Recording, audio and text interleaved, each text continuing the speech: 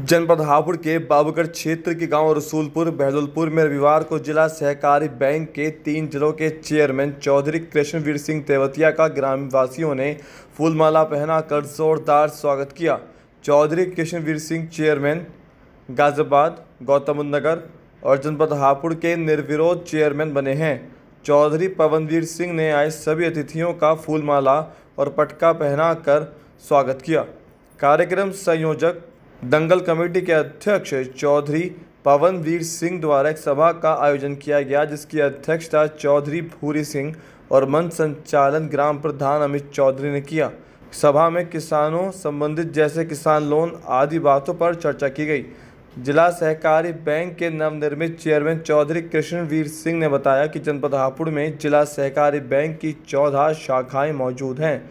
किसी भी किसान को अब परेशानी का सामना बैंक में नहीं करना पड़ेगा।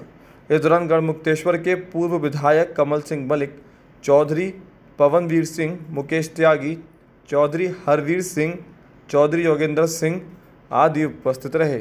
हमारी जो भारतीय जनता पार्टी की सरकार है, उसने मुझे चुना है कि आप इस बैंक के माध्यम से अपने क्षेत्र के विकास में किसान की जो भूमिका है, उसे निश्चित करें हम किस तरह से किसान को खुशहाली की तरफ़ ले जाते हैं, ले जा सकते हैं। सरकार की एक बड़ी मंशा है। कई बार ऐसा होता है कि हम सरकार की मंशा को अपने किसान भाइयों तक तो नहीं पहुँचा पाता।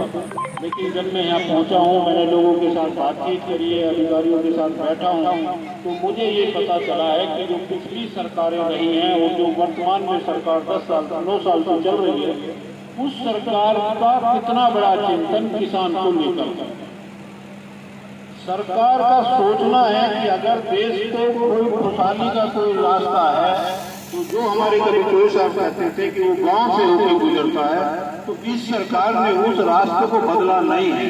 आप इस बात का विश्वास रखें और मैं भी उसी कड़ी में, मेरा जो चयन हुआ है, वो भी उसी कड़ी में हुआ है कि किस तरह से इसी क्रम में जाएगा पटका लेकर स्वागत करेंगे अमित शिवाजी का, जो जिला अध्यक्ष हमारे ज़िले से